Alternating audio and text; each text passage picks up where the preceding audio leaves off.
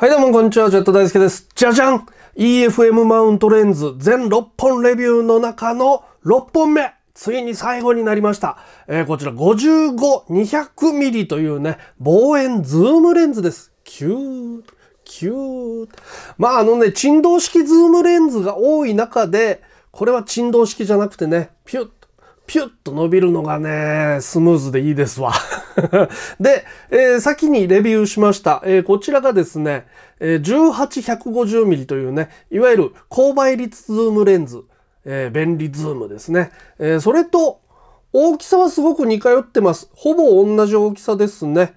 はい。ほぼ同じサイズ感ですが、えー焦点距離がこちら55から200ミリまでと。35ミリ版換算すると320ミリ相当となっておりますね。じゃあこのレンズで撮影した作例をご覧ください。えー望遠ズームレンズということでね、遠くのものを離れた距離からね、大きく撮るっていうのはね、得意ですよね。えー猫ちゃんがペロペロペロペロしてるところをね、こっそり撮ってやりましたよ。はい、そしてこちら京都タワーですけどもね。まあ高い建物もね、ここまで寄って撮れるわけですね。はい、そして次。これ鳥ですね。これはね、ズームアップしたわけではありません。えー、たまたまですね、僕が座ってたベンチの隣のベンチにね、この鳥がね、止まったんですね。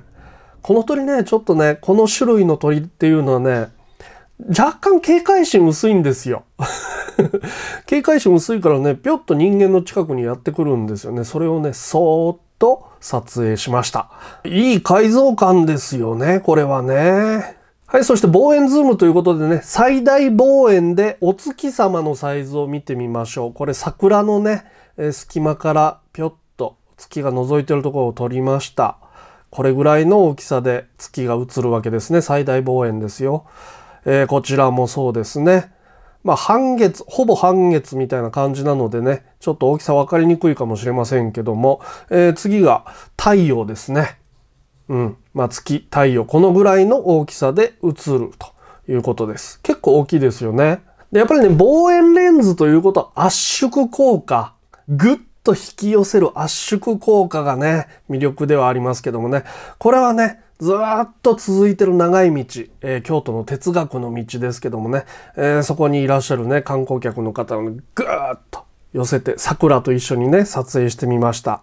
まあ、こういう風にね、圧縮効果、ペターっと遠くのものから近くのものまでペタと来るからね、あの、桜がね、たくさん咲いてるように見えるわけですね。実際にはね、並木道なんでね、桜の木もね、間隔が空いてるわけですけどもね、それをぐっと圧縮してね、たくさん咲いてるように見えるわけですね。で、やっぱりね、望遠ならではの、自由自在にこう、絵をね、切り取る感じがしますよね。切り取るっていう考え方をするとやっぱりね、望遠レンズ、望遠ズームはね、強いですよね。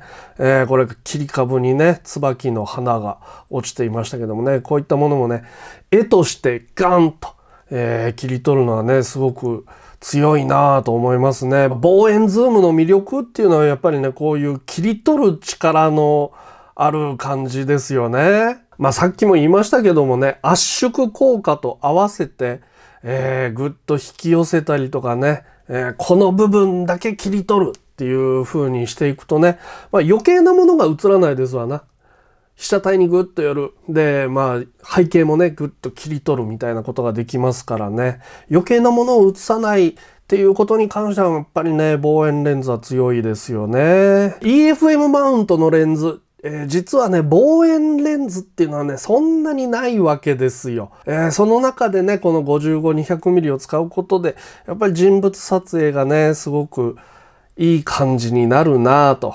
人物撮影ってやっぱりね、中望遠から望遠にかけてがね、えー結構いい感じになりますけどもね、イオスキス M の瞳 AF と合わせてね、使うと、えーすごくはかどるなという感じがしました。これだけの望遠レンズにもかかわらずね、小さいでしょ？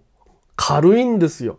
これ首から下げててね、全然平気なぐらいなんですよ。標準ズームとかね、広角の単焦点とかね、そっちの方が気になる方も多いでしょうけどもね、これ1本持っておくといいと思います。以上、EFM の 55-200mm のレンズでした。さて、EFM レンズではありませんけども、似たようなところでもう一つレビューしてないものがあります。じゃん。EFM のマウントアダプターですね。えこちら一眼レフ用の EF レンズなんですが、そういったものをひっつけて、ある自然現象、不思議な不思議な自然現象をしばらく追っかけていました。